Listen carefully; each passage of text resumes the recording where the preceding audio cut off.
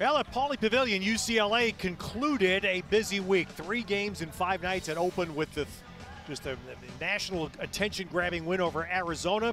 It ends though with a game that was lacking in artistry, Don, with 39 fouls called. But at the end, UCLA takes care of it and knocks off a Stanford team that was coming Yeah. off a win at USC. And, and UCLA's defense was the, the first thing, which led to a lot of transition offense. They turned over Stanford time after time. They got the ball down the court and were able to score before the defense was set. Because UCLA didn't shoot it well tonight, but they manufactured offense in transition off of those steals and turnovers, built a big lead, and never looked back.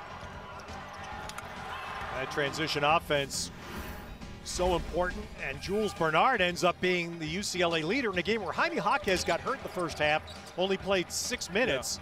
Bernard leads in both points and rebounds. Yeah, and no Johnny Juzang, remember, no Jalen Clark, so he they needed his production. He was up to the task. And Jake Kyman started the weekend having scored only 10 points on the season. He had 25 in two games. You got to give him credit that he stayed ready. He continues to work in case he gets his opportunity. He's getting it now. You don't know how long it's going to last, but for now, he really helped UCLA on Thursday night and then again tonight. And so for UCLA, they sweep the home week and sets up the second match with Arizona Thursday night. For Stanford, they go home. They'll play four straight at home starting Tuesday night against Cal.